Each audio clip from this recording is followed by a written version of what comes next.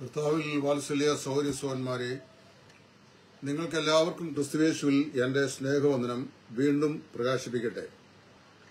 തെസ്ലോണിക്കിയ ലേഖന പഠനത്തിന്റെ എട്ടാമത്തെ എപ്പിസോഡിലേക്ക് എല്ലാ ബഹുമാനരായ ശ്രോതാക്കൾക്കും സ്വാഗതം. കഴിഞ്ഞ ഏഴ് എപ്പിസോഡുകളിലായി ഒന്ന് തെസ്ലോണിയുടെ രണ്ട് അധ്യായങ്ങൾ നമുക്ക് വളരെ വ്യക്തമായി പഠിക്കുവാൻ സ്വർഗത്തിലെ ദൈവം നമ്മെ സഹായിച്ചു. ഇന്ന് ഇവിടെ നമ്മൾ പഠിക്കാൻ പോകുന്നത് തെസ്ലോനിക്ക് ഒന്നാം ലേഖനം അതിന്റെ മൂന്നാം അധ്യായത്തിന്റെ രണ്ടാമത്തെ ഭാഗമാണ്. ഈ രണ്ടാം ഭാഗത്തും ആദ്യ ഭാഗത്തും ഞാൻ ഓർപ്പിച്ച പോലെ തെസ്ലോനിക്കയിലെ വിശ്വാസികളുടെ കർത്താവായ യേശു ക്രിസ്തുള്ള വിശ്വാസം പ്രത്യാശ സ്നേഹം എന്നിവയിൽ അധിഷ്ഠിതമായി. പൗലോസ് അപ്പോസ്റ്റൽ എങ്ങനെയാണ് അവരെ വിശ്വാസിൽ ഉറപ്പിച്ചത് എന്നുള്ളതാണ് പൗലോസ് ഈ ഭാഗത്ത് പറയുന്നത്. അപ്പോൾ ആ കാര്യം നമ്മൾ ആവർത്തിച്ച് ഇവിടെ പ്രതിപാദിക്കാൻ പോകുകയാണ് തെസോണിക്കിലെ വിശ്വാസികൾ രക്ഷിക്കപ്പെടുക എന്നുള്ള ഒരൊറ്റ വിഷയം മാത്രമായിരുന്നില്ല പൗലോസ് അപ്പോസ്റ്റലിന്റെ ഹൃദയത്തിന്റെ ഭാരം. അവരെ രക്ഷിക്കപ്പെട്ടത് കൂടാതെ അവർ ദൈവസേനയിൽ വളരെ അധികം ആത്മീക പക്വത പ്രാപിച്ചവരായി തീരണം എന്നും അതുപോലെ തന്നെ അവർ വിശ്വാസത്തിലും സ്നേഹത്തിലും കർത്താവായ യേശു ക്രിസ്തുള്ള പ്രത്യാശയുടെ സ്ഥിരതയിലും ഉറപ്പിക്കപ്പെട്ടവരായി മാറണമെന്നും അവരെ ദൈവം മുമ്പാകെ യോഗ്യമാമണ്ണം നടക്കുന്നവരായിരിക്കണമെന്നും സകലത്തിലും ഉപരിയായി നമ്മുടെ കർത്താവായ യേശു ക്രിസ്തുവിന്റെ പ്രത്യക്ഷയുടെ പ്രത്യാശയിൽ ഉറപ്പുള്ളവരായി അവർ തീരണം എന്നും പൗലൂസ് ആഗ്രഹിച്ചു. അതുകൊണ്ട് മൂന്നാം അധ്യായത്തിലെ പ്രതിപാദന വിഷയം establishing of the believers in the lord Jesus Christ. കർത്താവായ യേശു ക്രിസ്തുവിൽ ഈ വിശുദ്ധന്മാരെ അവരെ സ്ഥിരപ്പെടുത്തുക അല്ലെങ്കിൽ യഥാസ്ഥാനപ്പെടുത്തുക എന്നുള്ളതാണ് പൗലൂസിന്റെ കാതലായ ഉദ്ദേശമെന്ന് നമുക്ക് മനസ്സിലാക്കാൻ കഴിയും. ആ ബന്ധത്തിൽ നാല് കാര്യങ്ങളാണ് പൗലൂസോട് ചെയ്തത്. ഒന്ന് പൗലൂസ് വിശ്വാസത്തിൽ വേണ്ടി തീക്ഷ്ണതയോടെ അധ്വാനിച്ച തന്റെ സഹപ്രവർത്തനും ശുശ്രൂഷകനുമായിരുന്ന തിമോത്യോസിനെ അവരുടെ അടുക്കിലേക്ക് ഒരു ശുശ്രൂഷകനായി പറഞ്ഞയച്ചു.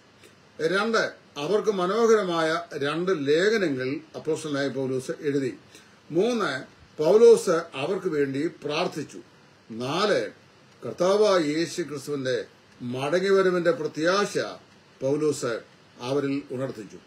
അതിലെ ആദ്യ ഭാഗം തിമോത്യോസിനെ പൗലൂസ് അങ്ങോട്ട് അയച്ച് അവരെ കർത്താവിൽ യഥാസ്ഥാനപ്പെടുത്തുന്നതിനെക്കുറിച്ചാണ് ഈ എപ്പിസോഡിന്റെ ഏഴാമത്തെ പരമ്പരയിൽ ഞാൻ നിങ്ങളെ ഓർപ്പിച്ചത്. അത് ഒന്ന് ശ്രോണി മൂന്നാം അധ്യായത്തിന്റെ ഒന്ന് മുതൽ രണ്ട് വരെയുള്ള വാക്യങ്ങൾ ആണ് നമ്മൾ അവിടെ ചിന്തിച്ചത്.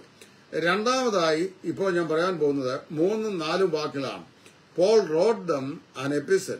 പൗലോസ് അവർക്ക് ലേഖനം എഴുതി. എന്തിനാണ് ലേഖനം എഴുതിയത്? ദൈവവചനത്താൽ അവരെ ഉറപ്പിക്കുക എന്നുള്ളതാണ്. രണ്ട് ദിവസം രണ്ടിന്റെ പതിനഞ്ച് മുതൽ പതിനേഴ് വരെയുള്ള വാക്യങ്ങളിലും റോമാലേഖനം പതിനാറിന്റെ ഇരുപത്തിയഞ്ച് മുതൽ ഇരുപത്തിയേഴ് വരെയുള്ള വാക്യങ്ങളും പത്രോസിന്റെ രണ്ടാം ലേഖനം ഒന്നാം അധ്യായത്തിന്റെ പന്ത്രണ്ടാം വാക്യവും പരസ്പരം നിബന്ധിപ്പിച്ച് നമ്മൾ പഠിച്ചാൽ നമുക്ക് മനസ്സിലാക്കാൻ കഴിയുന്ന കാര്യം ദൈവം അവരെ തന്റെ വചനത്തിലൂടെ തന്റെ ദാസന്മാർക്ക് ഈ വചനം നൽകി. പ്രത്യേകിച്ച് തിമോത്യോസിൽ കൂടെ ഈ വചനം നൽകി. പൗലൂസ് അവരെ ക്രിസ്തുവിൽ ഉറപ്പിക്കുന്നതായി നമുക്ക് മനസ്സിലാക്കുവാൻ കഴിയും. ക്രിസ്തുവേശുവിൽ ഭക്തിയോടെ ജീവിപ്പാൻ ആഗ്രഹിക്കുന്നവർക്ക് എല്ലാവർക്കും ബഹുവിധമായ കഷ്ടങ്ങൾ ഉണ്ടാകും എന്നുള്ള കാര്യം പൗലൂസ് മുന്നമേ തന്നെ അവരോട് പറഞ്ഞിരുന്നു. ഈ ലേഖനദ്വാര പൗലൂസ് ആവർത്തിച്ച് അവരെ ഓർമ്മപ്പെടുത്തുകയും ചെയ്തു. പ്രവർത്തിയുടെ പുസ്തകം പതിനേഴാം അധ്യായത്തിന്റെ ഒന്ന് മുതൽ നാല് വരെ ഉള്ള വാക്യങ്ങൾ വായിക്കുന്ന പോലെ പൗലോസ് തെസ്ലോനിക്കായിൽ ഏതാണ്ട് മൂന്ന് ആഴ്ചവട്ടക്കാലമാണ് അവിടെ ആയിരുന്നത്. അവിടെ ആയിരുന്ന സമയത്ത് നമ്മൾ വായിക്കുന്നു ദൈവ വചന സത്യങ്ങളെ പൗലോസ് വ്യക്തമായി പറഞ്ഞ് അവരെ ബോധ്യപ്പെടുത്തി. വളരെ ചുരുങ്ങിയ നാളിൽ മാത്രമാണ് പൗലോസിന്റെ ശുശ്രൂഷകൾ ഈ വിശ്വാസികൾക്ക് അവിടെ അനുഭവവേദ്യമായത് എങ്കിലും ആ ചുരുങ്ങിയ നാളിൽ കൊണ്ട് എന്താണ് സുവിശേഷം? സുവിശേഷത്തിന്റെ സാരസത എന്താണ്? അതിലെ സന്ദേശം എന്താണ്? സുവിശേഷം ഒരു വിശ്വ ഒരു വ്യക്തിയിൽ ചെയ്യുന്ന മാറ്റങ്ങൾ എന്തൊക്കെയാണ്? സുവിശേഷത്തിൽ വിശ്വസിച്ച് രക്ഷിക്കപ്പെട്ട ദൈവമക്കൾ അവരുടെ ആത്മീയ ജീവിതം എപ്രകാരം മുൻപോട്ട് നയിക്കണം? ഇത്യാദി കാര്യങ്ങളെക്കുറിച്ചെല്ലാം വളരെ വ്യക്തമായ നിലയിലുള്ള ഒരു നിർദ്ദേശം പൗലൂസ് അവർ കൊടുക്കുകയും വചനത്തിൽ അവരെ ഉറപ്പിക്കുകയും ചെയ്തു എന്ന് നമ്മൾ വായിക്കുന്നു.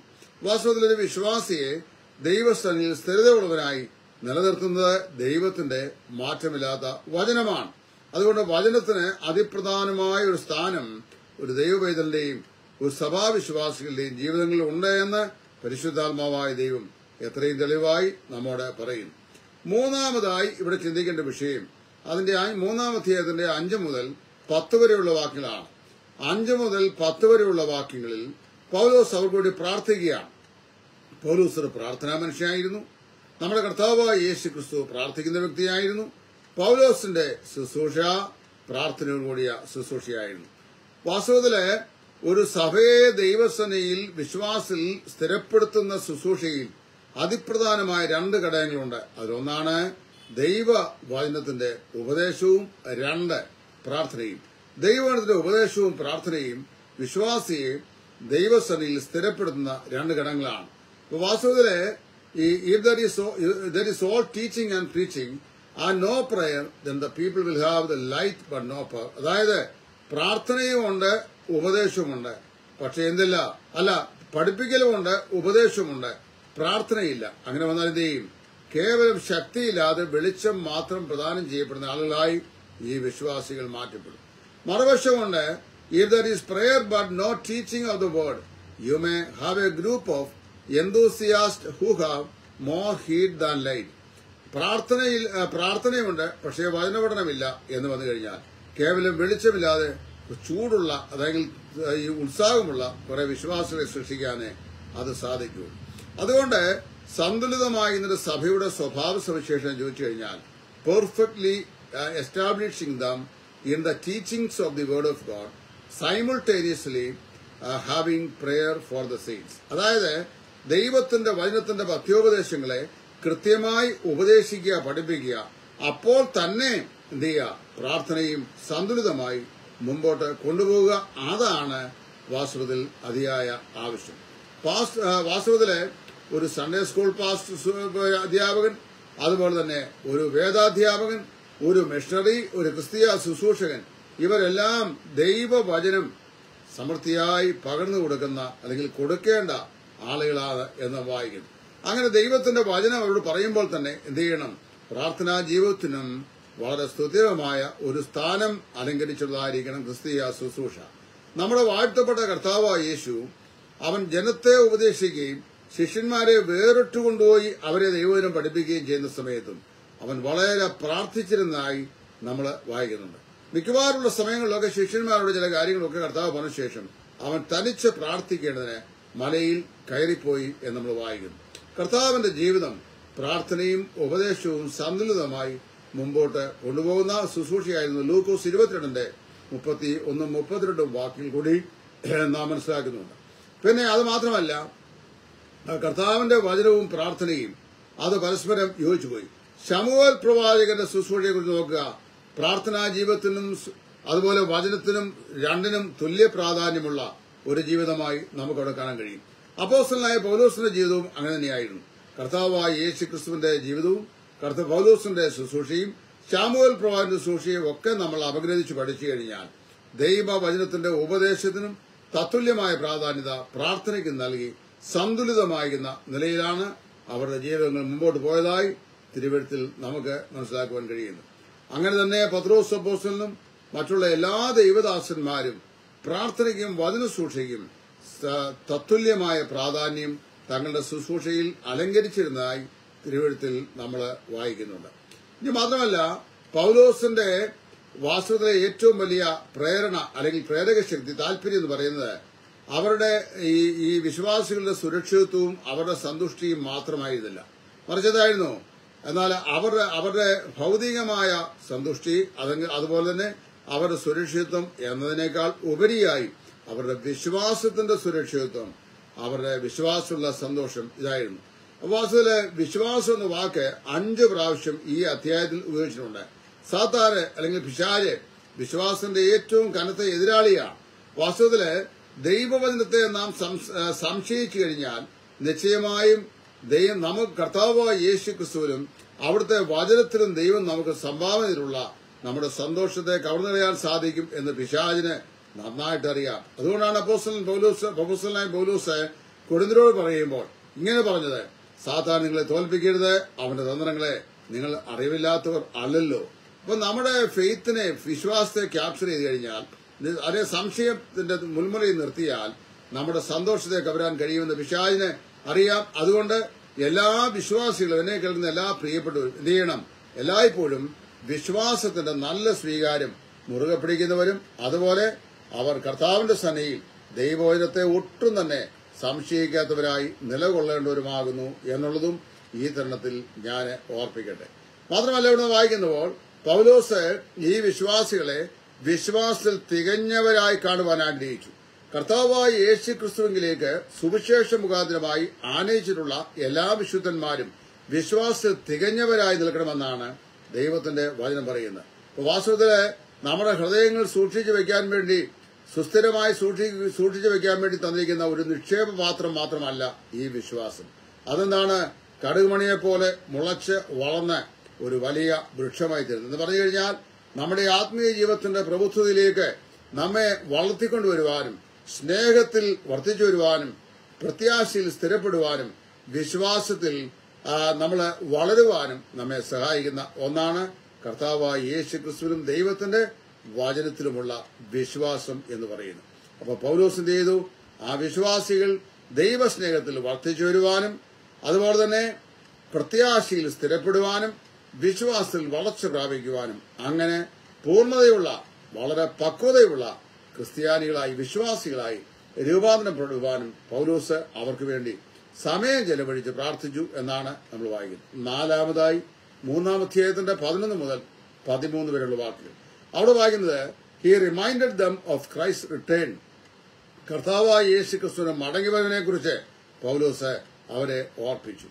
ഒരു ക്രിസ്തീയ ഭക്തന്റെ ജീവിതത്തിലെ ഏറ്റവും വലിയ ധൈര്യവും പ്രത്യാശ എന്ന് പറയുന്നത് അവന്റെ പ്രാണപ്രിയനായ കർത്താവ് മടങ്ങി വരും എന്നുള്ളതാണ്. ഈ സഭയിലെ വിശ്വാസത്തെ സംബന്ധിച്ച് ഞാൻ നേരത്തെ സൂചിപ്പിച്ചാണ്. അവരിൽ പല മാതാപിതാക്കൾക്കും വിശ്വാസത്തിന്റെ പേരിൽ തങ്ങളുടെ മക്കളെ നഷ്ടമായിട്ടുണ്ട്. മക്കൾക്ക് മാതാപിതാക്കൾ നഷ്ടമായിട്ടുണ്ട്. സഹോദരന് സഹോദരിയും സഹോദരിക്ക് സഹോദരിയെയും ഭർത്താവിന് ഭാര്യയും ഭാര്യയ്ക്ക് ഭർത്താവിനെയും ഒക്കെ വിശ്വാസത്തിന്റെ പേരിൽ നഷ്ടപ്പെട്ടിട്ടുണ്ട്. പക്ഷേ അവരതിന്റെയൊക്കെ വേദനയിലും അത് മാത്രമല്ല വിശ്വാസം സ്വീകരിക്കാൻ വിശ്വാസം നിലനിർത്തിയാൽ അതിൽ ഉറപ്പിക്കപ്പെടുവാൻ ശ്രമിക്കാൻ പലവിധമായ പീഡനങ്ങൾക്ക് വിധേയപ്പെടുകയും പീഡനം അവർക്ക് വർദ്ധിക്കുകയും ചെയ്യുകയും അവർ പല ഒറ്റപ്പെടുകയും കൈവിടപ്പെടുകയും ഒക്കെ ചെയ്തു.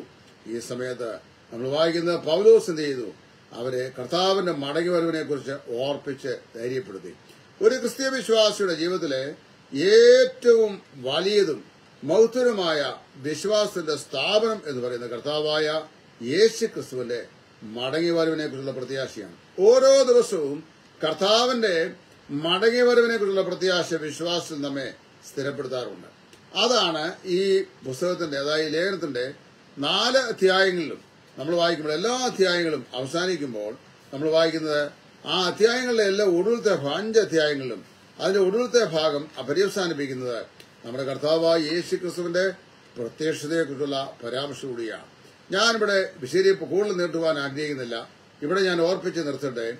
പൗലോസ് ഈ സഭയെ വിശ്വാസത്തിലും പ്രത്യാശയിലും സ്നേഹത്തിലും ഉറപ്പിച്ചു നിർത്തുവാൻ വേണ്ടി ചെയ്ത നാല് കാര്യങ്ങളാണ് നാം ഈ അധ്യായത്തിൽ പഠിച്ചത്. ഒന്ന് he send a man of God തീമോത്യോസിനെ പൗലോസ് കൃപയുള്ള ശുശ്രൂഷയുള്ള ഈ വിശ്വാസികളെ കർത്താവിൽ നിലനിർത്തുവാൻ പ്രാപ്തിയുള്ള ഒരു ദൈവദാസനെ തന്റെ ശുശ്രൂഷകൾക്ക് വേണ്ടി അങ്ങോട്ട് പറഞ്ഞയച്ചു.